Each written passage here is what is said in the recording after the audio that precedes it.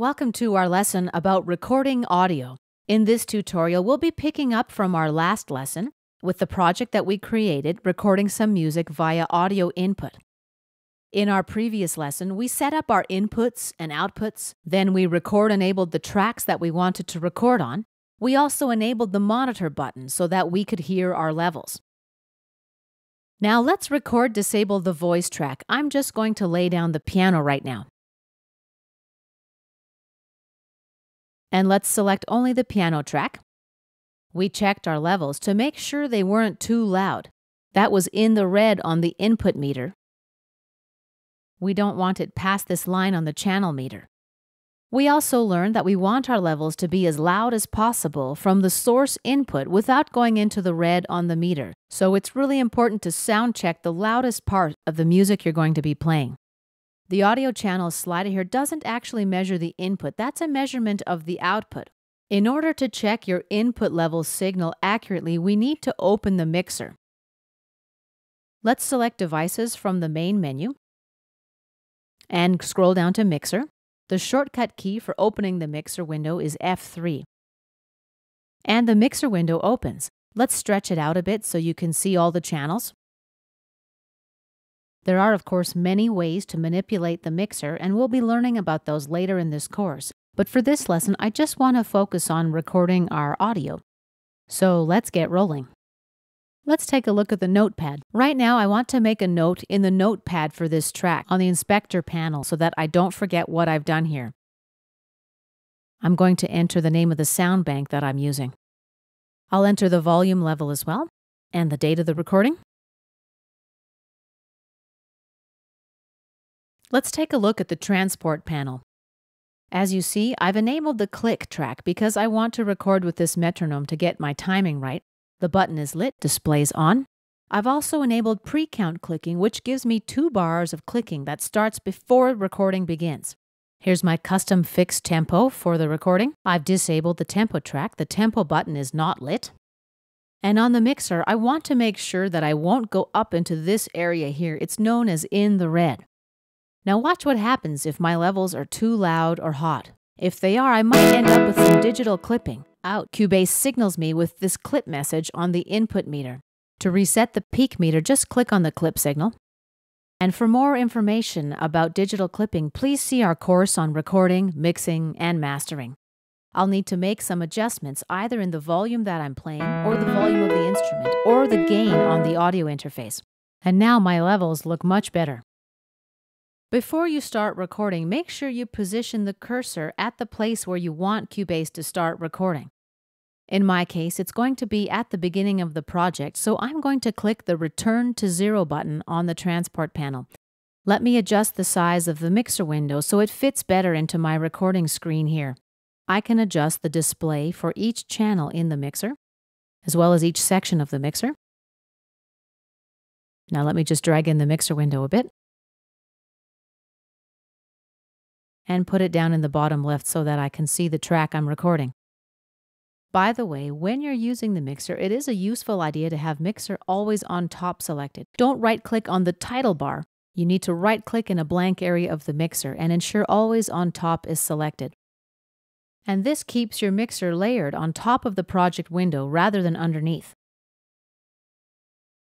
Next thing we need to do is to click the record button either on the top of the project window or on the floating transport panel. And our recording begins. At this point, I should be hearing my pre-count clicks, but I don't. Let's figure out why. The recording has begun. You see how the track lights up in red? An event image is created on the timeline. Let's stop our recording and go investigate. Just press the stop button or the space bar on your keyboard. In order to hear clicking, you need to have the click track routed to your output bus. Let's go examine our buses. Select Devices and scroll down to VST Connections, or you can use the shortcut of F4. Let's go to the Outputs tab. We toggle on the click routing to this output by clicking in the Click column. Now the click track will route to the output bus. And let's do a test record to ensure that I can hear the clicking. We'll just press record exactly where the cursor is. And here are my two bars of pre-count clicking. Let's press stop or the spacebar to stop the recording. Let's use the Object Selector tool to select our first audio event. Notice that it has a name, piano underscore 01. The next event that I record on this track is going to be called piano underscore 02, and that's even if I delete this empty event here, piano 01. Let's select it and press delete to get rid of it. Cubase won't write over that file, piano underscore 01, and that's in case I need to use it at some point later on. Here it is in my Windows Explorer system, still in the audio folder for this project. Let's close Windows Explorer, and this is a basic principle of non-destructive editing. Cubase won't replace any files in case I might need them later on. Let's press return to zero on the transport control so that my cursor is positioned right at the beginning of the project. Click record. Here's my two bars of pre-count clicking. And our recording begins. I'll give it one more bar to give me some extra room. And now I play. I'll just play a couple bars of this music. And when we're done, we press the stop button on the transport controls or the space bar. Cubase finishes recording. Here's our new file, piano underscore 02. Let's record disable the track so we don't accidentally record over this work we wouldn't want to lose our first audio event. Now take a moment to save your work. Control S is your shortcut, or you can go to the File or Cubase menu and select Save.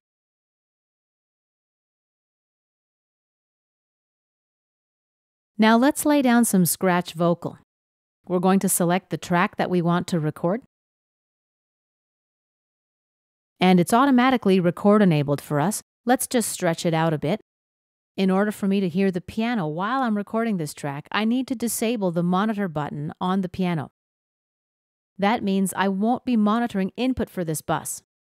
In order for me to hear the voice input while I'm recording, I need to enable the monitor for the voice track. So let's select it here. Let's make sure I've got the correct input routing. I'm using the mic input for this, not the stereo that I used for the piano. Our mixer shows the active track. Let's stretch it out a bit. I don't want to follow the clicks for the vocal, just hear the pre-click, so let's turn the click track off. Now let's do a level check. If you find that your levels are too low, you need to get either a little closer to the mic, maybe adjust the mic settings, boost the preamp signal before it's routed into Cubase, adjust the gain on your audio interface, any of these things. Let me drag the mixer window up a little bit.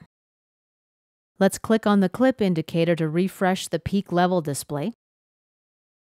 Here we can see at a glance what input level our signal is at in decibels. You need to make sure you leave some headroom for effects and EQ during the mixing and mastering process. But if your input is maybe down as low as minus 14 to 20 for vocals, that's just too low. You're going to need it a little bit hotter. Okay, we are ready to begin recording, so let's get set up. First, we'll take the cursor back to zero by clicking Return to Zero on the transport controls. Now we'll select and record enable our track. And let's press the record button. My pre-clicks come first, and then I left an empty bar.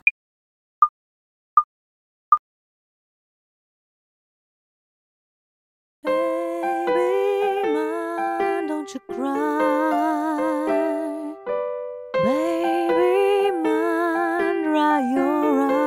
Press stop when you're done, or the space bar on your keyboard. Here's our second audio event, voice underscore zero one. First thing to do is save our work. We wouldn't want to lose any little masterpieces. We go to File and Save, or Control Command S. Let's record disable the track. And this concludes our first tutorial on recording audio. In our next lesson, we'll be learning how to playback audio that we've recorded.